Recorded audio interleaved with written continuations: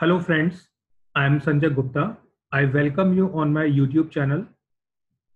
This channel contains various videos regarding programming languages. It contains more than 800 videos. You can search these videos through the keyword programming by Sanjay Gupta. If you have any query, then you can connect with me by following my email ID and my WhatsApp number. In this video, I am going to discuss about number systems.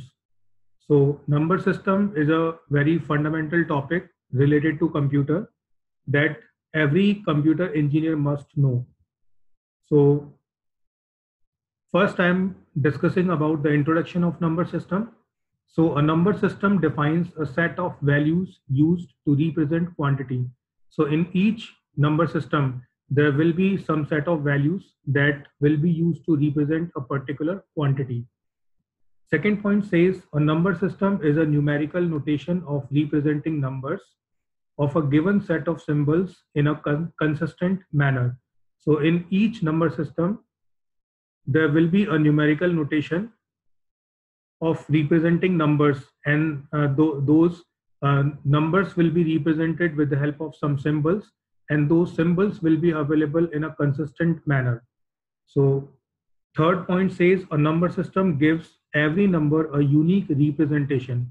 So in each number system, a particular number provides a unique representation. So by combining those numbers or symbols, we can create a particular number for a particular number system. So this is a brief introduction about number system. Now I am going to discuss about the commonly used number system in computers. So you can see four types of number systems are listed here. First is binary number system. So binary number system is related to computer directly because computer uses binary language that is uh, represented with the help of zero and one. So binary number system is directly related to computers.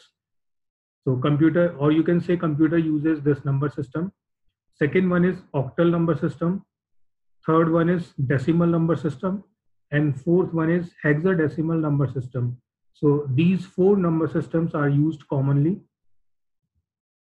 Now I'm going to discuss two things about each type of number system. So first thing will be base and second thing will be digits. So each number system contains a particular base so that we can uh, process values of that number uh, through that base. And each number system contains various digits through uh, sorry through those digits. Or you can say by combining those digits we can create a particular number with the help of that number system. So as you can see binary number system is having two digits 0 and 1 and the number of digits which are available in a number system. If we add or if we sum those number of digits or you can say if we count those digits then uh, the counting of those those digits will be equals to the base of that number system. So binary number system is using 0 and 1 as the digits and count of these digits is equals to 2 so that's why binary number system is having base as 2 so whenever you want to process binary number system, you have to use this base. Suppose you want to convert binary number into octal or decimal, then this base will be important there. So you must know about how many digits are available in a particular number system or what is the base of that particular number system. So this is about binary number system. Similar to binary, we have octal number system so here you can see the digits are 0, 1, 2, 3, 4, 5, 6 and 7. So if we count these digits, the count is equals to 8. So counting is 8. That's why base of this number system is equals to 8. So octal number system is having digits from 0 to 7. Counting is equals to 8. That's why base of this number system is 8. Next number system is decimal, which is the commonly used number system for mathematical calculation. So the mathematical notations which we study in schools and colleges, in those calculations, or in those study we use uh, this decimal number system. And we all know that digits are from 0 to 9 so if we count these number of digits count will be equals to 10 and uh, similarly the base of decimal number system will be 10 because here we are using 10 number of digits. Fourth number system is hexadecimal. So here you can see digits are available from 0 to 9 and here we have to use 10 11 and so on. So to represent 10 we are using a. To represent 11 we are using b and so on. So a is 10 b is 11 c is 12 d is 13 e is 14 and f is 15 so if we count all these digits count will be equals to 16 that's why hexadecimal number system is having base as 16 so you can use all these 16 digits to frame a number in case of hexadecimal number system.